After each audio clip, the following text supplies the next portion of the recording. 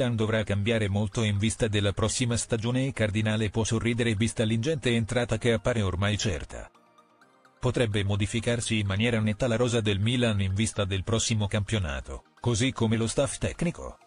Motivo per il quale i rossoneri avranno bisogno di fare cassa per poi poter affondare il colpo per i propri obiettivi. Jerry Cardinale può sorridere considerato il fatto che appare ormai fatta per la prima cessione importante dell'estate con i rossoneri pronti ad incassare una cifra da reinvestire poi sul mercato. Il Milan, complice l'eliminazione dalla Champions League arrivata ai gironi, sa di dover cedere almeno un paio di pezzi pregiati della rosa per fare quadrare i conti. Per la prima partenza sembra essere ormai tutto fatto con il Milan pronto a registrare un'entrata da capogiro. Appare ormai certa la cessione a titolo definitivo di Charles De Ketelaere all'Atalanta.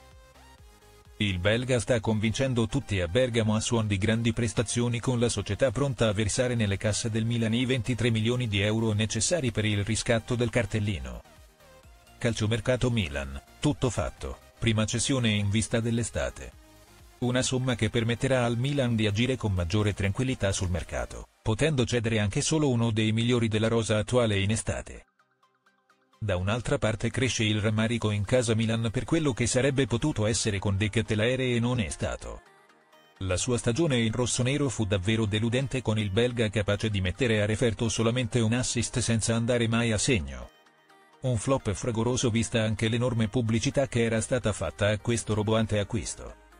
A Bergamo, sotto le indicazioni di Gasperini, De Ketelaere ha trovato il suo ambiente ideale ed ora il suo valore è tornato ad essere di altissimo livello, portando l'Atalanta a decidere per il riscatto. Un investimento che la famiglia Percassi vuole fare, conscia di poter poi anche rivendere il giocatore facendo registrare un'importante plusvalenza in ottica futura entreranno 23 milioni di euro nelle casse del Milan, che potrebbero poi anche aumentare con dei bonus legati concordati già durante la scorsa estate. Denaro necessario ai rossoneri per cercare di portare a termine le trattative per gli obiettivi già messi nel mirino nelle scorse settimane.